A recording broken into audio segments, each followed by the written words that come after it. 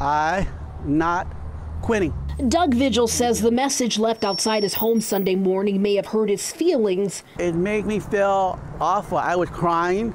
I was very um, in tears when I saw that happen to me. But it won't stop him from running for the Stockton School Board. Vigil was born without ears, but after years of reconstructive surgery and hearing aids, he can now hear better.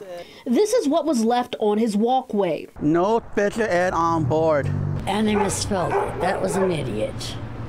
The word quit was also spray painted on his notary sign he keeps in the yard. Neighbors say the message targets his disability, not his ability to be a good board leader. I'm not running for city councilman. It's a school board.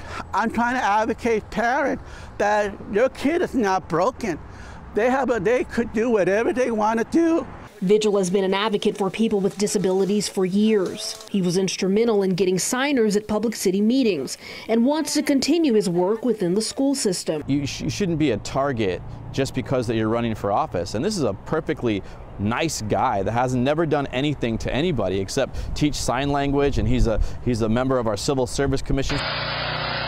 Mayor Anthony Silva helped scrub and power wash the graffiti this morning, and another group painted the sidewalk red. That's disgusting, it's sickening, and we're just not going to tolerate it in Stockton. And neither is Vigil. He'll continue his campaign, he says, with the same positive spirit.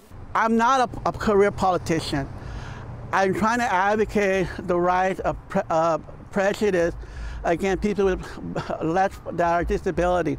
They're not disabilities just because they're, they're, they're blind, they're deaf, they're on wheelchair. They can do whatever they want their heart desire. In Stockton, Dana Griffin, KCRA 3 News.